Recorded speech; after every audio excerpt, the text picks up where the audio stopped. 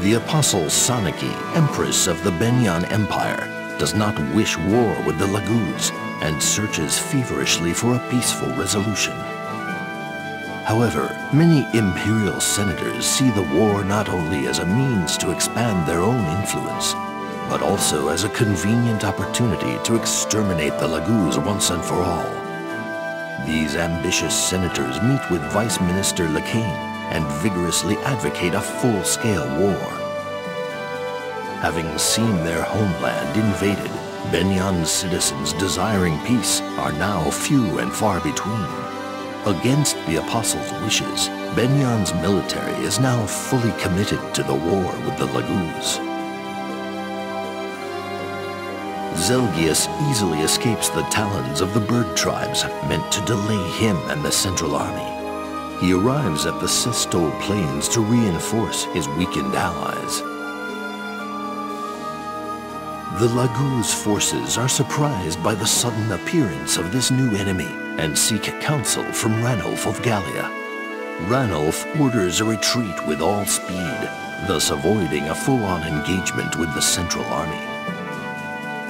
General Zelgius chooses not to pursue the fleeing Gallian army. Instead, he orders his army to hold position on the eastern banks of the Ribahn. Divided by the river, the two armies are deadlocked, able to do little more than glare at one another in hatred.